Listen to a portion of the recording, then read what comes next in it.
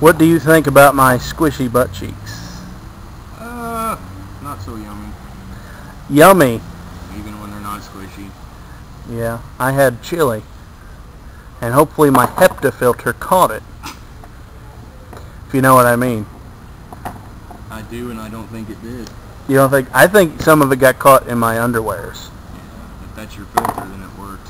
No, it's my HEPTA's to. butt hairs meshed together to create a HEPTA filter. You weave them together. They're weaved. Oh, Microfiber. And uh, got a little squishy. Went by the microfibers, and I think it went into the cotton fibers. Uh, shit of the loom. Shit of the loom.